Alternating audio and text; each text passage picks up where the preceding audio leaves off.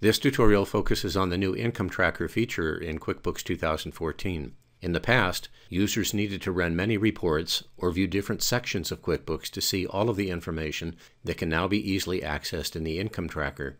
QuickBooks users now have a central hub to efficiently manage business income and customer-related transactions and activities.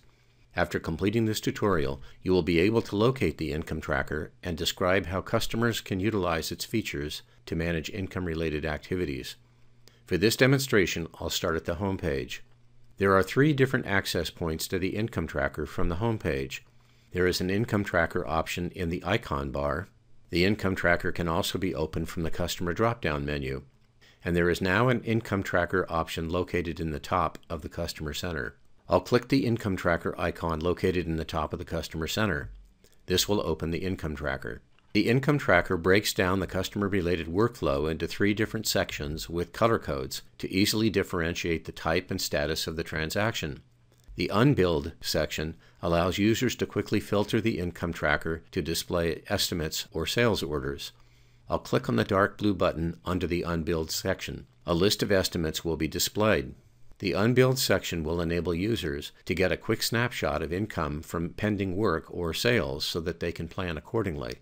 I'll click the customer column heading to resort the customer column in descending order. I'll click on the estimate on the list for Pretell Real Estate. I'll click the Action drop-down field.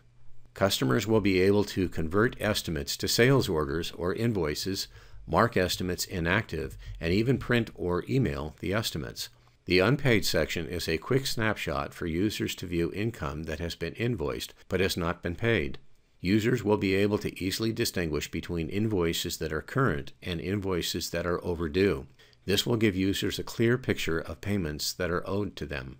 I'll click the orange button under the Unpaid section, Open Invoices. A list of open invoices is displayed. I'll click on the first invoice showing for Vitton David, Remodel Kitchen, $700.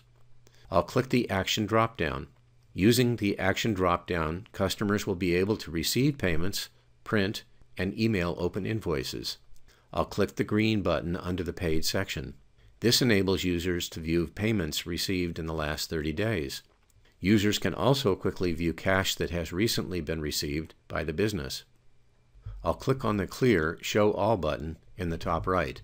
This will return the income tracker to the default view. Customers can also print transactions in batches from the income tracker. I'll put a check mark in the first three checkboxes.